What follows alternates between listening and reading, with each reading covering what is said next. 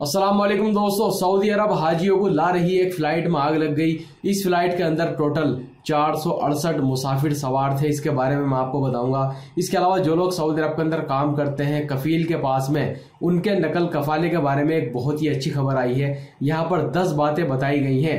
अगर इन दस बातों में से कोई एक चीज़ भी आपके साथ में हो जाती है तो फिर आपको ये अधिकार मिल जाएगा कि आप अपने बिना कफील की मर्ज़ी के किसी दूसरे कफील के पास में नकल कफाला करा सकते हैं, ट्रांसफ़र करा सकते हैं। और काफ़ी लोग जो है इसके बारे में कमेंट भी कर रहे थे कि भाई कोई ऐसा तरीका बताओ हमें, ताकि हम बिना कफील की मर्ज़ी के अपना नकल कफाला कहीं दूसरी जगह करा लें। हमारा जो कफील है वो काम ज़्यादा लेता है सैलरी कम है, परेशान करता है। या और भी जो है बहुत सारे मसले मसाइल हैं।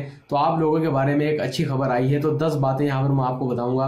सऊदी अरब का जो लेबर ला है, उसके हिसाब से यहाँ पर बताया गया है। इसके अलावा जो है कुछ और खबर आई है तो आपसे रिक्वेस्ट है, वीडियो को शुरू से लेकर आखिर तक ज़रूर देखें। तो सबसे पहले आज की बड़ी खबर आपको बताना चाहूँगा, नकल कफाले के बारे में, क्योंकि काफ़ी गैर मुल्की हमारे भाई हैं, जो कि काफ़ी ज़्यादा परेशान है अपने कफील से। तो आप यहाँ पर देख सकते हैं, पहले नंबर पे ही ये बताया गया है। अगर आपका कफील लगातार तीन महीनों तक आपको सैलरी नहीं देता है, या इसके अलावा यहाँ पर यह बताया गया है, अगर मान लीजिए आप सऊदी अरब आए हैं काम करने के लिए, अगर 90 दिन के अंदर अंदर वो आपका इकामा नहीं बनाता है, या यहाँ पर यह भी बताया गया है, अगर आप पहले से ही किसी कफील के पास में काम कर रहे हैं डोमेस्टिक कैटेगरी में जैसे फैमिली ड्राइवर या खद्दामा, या चौकीदार वगैरह, खासतौर से फैमिली ड्राइवर ही है यहाँ पर ज़्यादा इंडिया से तो यहाँ पर यह बताया गया है अगर वो जो है नब्बे दिन के अंदर अंदर आपका इकामा नहीं बनाता है तो भी ये आपको अधिकार मिल जाएगा कि उसकी बिना मर्ज़ी के आप कहीं दूसरी जगह नकल कफाला करा सकते हैं। इसके अलावा नंबर चार और पाँच में यह बताया गया है, अगर आप जो है इंडिया से आए हैं, मान लीजिए, या पाकिस्तान से, या किसी और कंट्री से आए हैं काम करने के लिए एयरपोर्ट पर आएँगे, आप ज़ाहिर सी बात है, या वो ऑफ़िस वाला आपको रिसीव करेगा, जिस कफील ने किसी ऑफ़िस के थ्रू जो है वीज़ा निकाली होगी इशू कराई होगी। अगर मान लीजिए आपका कफील एयरपोर्ट से या जिस ऑफ़िस से उसने आपको बुलाया है, उस ऑफ़िस में आपको लेने के लिए ही नहीं जाता है और इसको पंद्रह दिन गुजर जाते हैं। इसके अलावा यहाँ पर यह बताया गया है कि आपके कफील ने अपने लिए बुलाया है काम करने के लिए, लेकिन वो आपको कहीं दूसरी जगह भेजता है। किसी दूसरे का काम आपसे वो कराता है, तब भी आप अपना नकल कफाला कहीं दूसरी जगह करा सकते हैं, बिना इस कफील की मर्ज़ी के। अलावा नंबर छह और सात में यह बताया गया है, अगर आपका कफील कोई आपसे ऐसा काम कराता है जिसकी वजह से आपकी जो हेल्थ है, तबीयत है, वो खराब हो सकती है।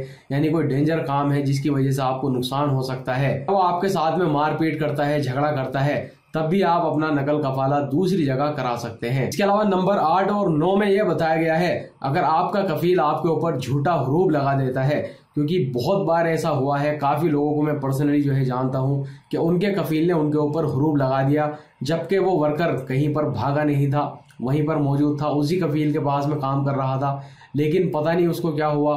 गुस्सा आया या किसी और वजह से उसने जो है अपने वर्कर के ऊपर हरूब लगा दिया। और इसके अलावा यहाँ पर यह भी बताया गया है, अगर आपका कफील के साथ में कोई लड़ाई झगड़ा हो जाता है, कोई बोलचाल हो जाती है तो ज़ाहिर सी बात है जो गैर मुल्की है वो जाता है। लेबर कोर्ट में केस दर्ज करता है। तो यहाँ पर यह बताया गया है कि कोर्ट की तरफ़ से फिर सुनवाई होती है, तारीख जो है दी जाती है।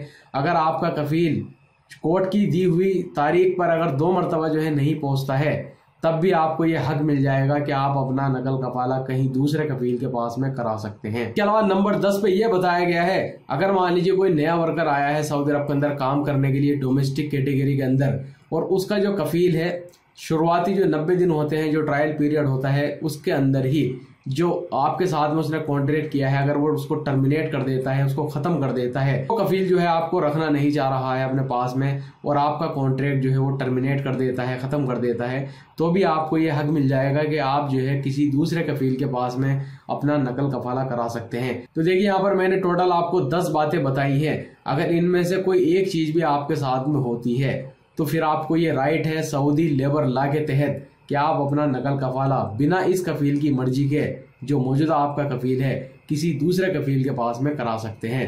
और इस वीडियो को ज़रूर शेयर कीजिएगा उन दोस्तों के साथ में, जो लोग यहाँ पर डोमेस्टिक कैटेगरी के अंदर काम करते हैं, जैसे फैमिली ड्राइवर खद्दामा या चौकीदार वगैरह। इसके अलावा दोस्तों, एक खबर general director of narcotics control की तरफ़ से आई है। एक पाकिस्तानी को गिरफ़्तार किया गया है, जो कि नशे करने वाली चीज़ों की मार्केटिंग कर रहा था, उनको बेच रहा था। यहाँ पर मैं आपको बताना चाहूँगा दो तीन दिन पहले ही जहाँ पर मैं रहता हूँ, तबोक के अंदर, यहाँ पर दो सगे भाइयों को सजाए मौत दी गई है। इसी वजह से, क्योंकि वो नशा वाली चीज़ों की जो है मार्केटिंग कर रहे थे, उनको बेच रहे थे। तो ये बहुत ही खतरनाक चीज़ है, इन चीज़ों से बिल्कुल दूर रहे। अलावा दोस्तों, एक और गैर मुल्की को गिरफ़्तार किया गया है, और इसका ताल्लुक सीरिया से बताया गया है, और यहाँ पर इसने एक के साथ में गलत हरकत की, नाजेबा हरकतें की, और उसकी वीडियो भी बनाई। वीडियो बना करके सोशल मीडिया पर अपलोड कर दी, इसकी पहचान करके इसको गिरफ़्तार कर लिया गया है। तो जैसा कि आपको मालूम है, अभी इंडिया पाकिस्तान की जो सोशल मीडिया पर गंद मचा हुआ है तो वही वाली गंद जो है वो सऊदी अरब के अंदर फैलाना चाह रहा था तो इसको भी गिरफ़्तार कर लिया गया है। इसके अलावा दोस्तों, इंडोनेशिया की एक फ़्लाइट 450 हाजियों को लेकर के मदीना मुनवरा आ रही थी कल, जिसके एक इंजन में अचानक से आग लग गई और इस फ़्लाइट के अंदर लगभग 18 क्रू मेंबर भी थे। यानी ये जो फ़्लाइट थी, काफ़ी बड़ी फ़्लाइट थी। यानी टोटल चार लोग इस फ़्लाइट के अंदर मौजूद थे। पर खबर में यह बताया गया कि जैसे ही इसके इंजन में आग लगी, तुरंत इसकी इमरजेंसी लैंडिंग करनी पड़ी इंडोनेशिया के अंदर ही। लेकिन अल्हम्दुलिल्लाह, किसी भी हाजी को, किसी भी क्रू मेंबर को कोई भी जानी नुकसान नहीं हुआ है। अलावा दोस्तों, एक खबर अपशर प्लेटफॉर्म की तरफ़ से आई है और एक नई सर्विस लॉन्च की गई है अपशर प्लेटफॉर्म के अंदर। और यहाँ पर यह बताया गया है, मान लीजिए अगर आपके साथ में कोई भी फाइनेंशियल फ्रॉड हो जाता है, मान लीजिए आपके एटीएम कार्ड से पैसा चोरी हो जाता है तो देखिए बहुत लोगों के साथ में इस तरह से हुआ है सऊदी अरब के अंदर कि कोई बंदा आपको फ़ोन करता है कि हम फला कंपनी से बोल रहे हैं, आपका बैंक अकाउंट बंद हो जाएगा या आपका एकामे का ये मसला हो जाएगा, हमारे साथ में डिटेल जो है शेयर करो और आप जो है घबरा के उसके साथ में डिटेल शेयर कर देते हैं। यहाँ पर यह बताया गया है, अगर आपके साथ में खुदा ना खास्ता इस तरह से हो जाता है तो आप अपशर प्लेटफॉर्म के ज़रिए इसकी रिपोर्ट भी दर्ज करा सकते हैं। और इसके अलावा यहाँ पर एक और खबर आई है, जिसमें यह बताया गया है कि जितने भी लोग अभी बाहर मुल्कों से आ रहे हैं हज करने के लिए के लिए डिजिटल आईडी बनाई गई है। और खबर में यहाँ पर यह भी बताया गया है कि वो लोग अपना तवक्लना का अकाउंट या अफसर का अकाउंट जब बनाएँगे तो उनको काफ़ी सहूलत मिलेगी इस डिजिटल आईडी से। तो ये कुछ ज़रूरी जानकारी आई थी, कुछ ज़रूरी खबरें थी, मैंने आपके साथ में शेयर कर दी उम्मीद है वीडियो आपको पसंद आई होगी। अगर आप कुछ पूछना चाहते हैं तो कमेंट कर सकते हैं। वीडियो देखने के लिए बहुत बहुत शुक्रिया।